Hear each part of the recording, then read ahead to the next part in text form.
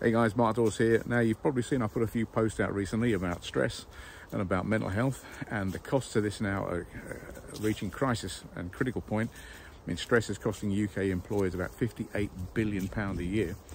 And mental health, they're calling it a pandemic because there's not enough resources to cope with the demand for help.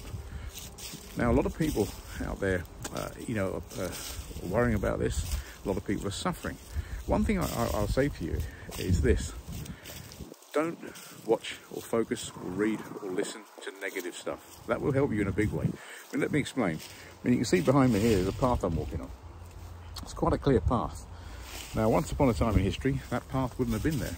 It'd just been part of nature, probably overgrown. But someone or something walked down it and left footprints.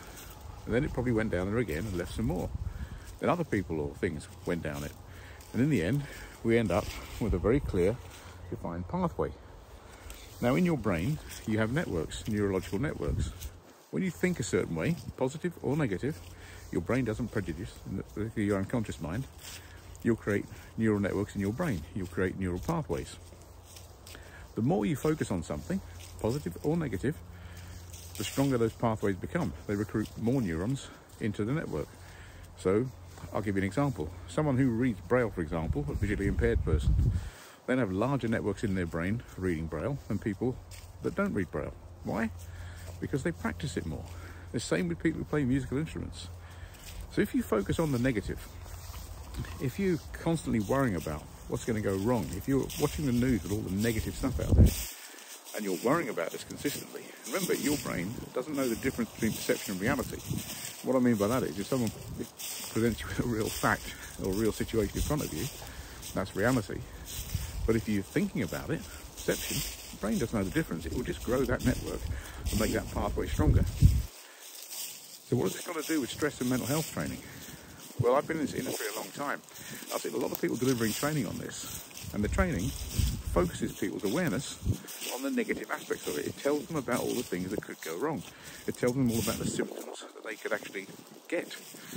And if they go away and worry about that, they'll start to develop neurological pathways in their brain. Now, Dr. Lisa Rankin wrote a book, and in her book, she said that 79% of medical students end up getting the symptoms of the disease they focus on because of the very fact that they're worrying about the very thing that they shouldn't be worrying about. Simple as that, really. So, that's my point here. Hiya. Hello. Hello, Hello mate. I'll just meet, meet people on my walk. So, it's a fact. You're gonna, it's gonna happen. You know. So, why am I telling you this? Well, we did some training some years ago.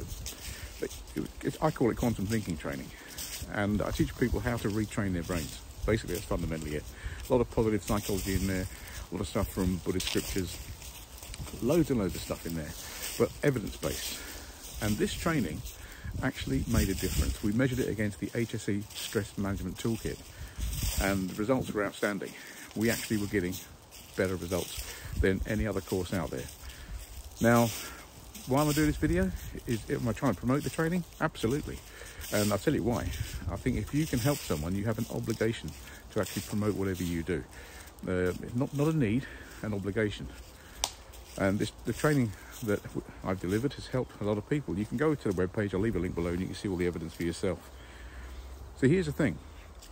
If you're an employer watching this, and you're getting high staff absenteeism, you have got either your, your productivity is going through the floor because of stress-related absenteeism or people suffering, think about getting in touch.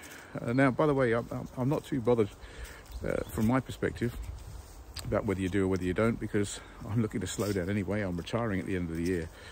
But this is something I'm passionate about and Travell and Rab, who are taking over at FPS, are going to be promoting this. I also want to give a big shout out to a guy called Vic Vickery here as well. Vic's an extraordinary guy.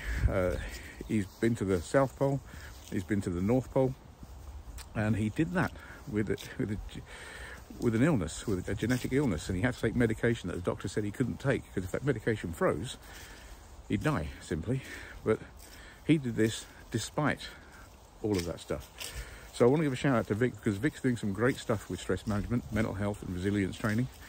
And this is from a guy that's faced adversity uh, and has had to you know, be resilient in the face of that. So you're learning from someone who's actually walked the walk and talked the talk. And Vic is going to be partnering up with us. So between us, we've got a, an awful lot to offer. So if you're interested, get in touch. Again, I'm not going to be pushy about this stuff, but I just know that what we do helps because the evidence is there. Now, there'll be a link below this video. Click on that link, go and have a look, have a read for yourself. If you've got any questions, get in touch. I'm happy to discuss it. But, you know, let's start helping each other. And more importantly, let's stop people from suffering from stress and mental health because it can be one of the biggest killers out there. All right, you guys have a nice day.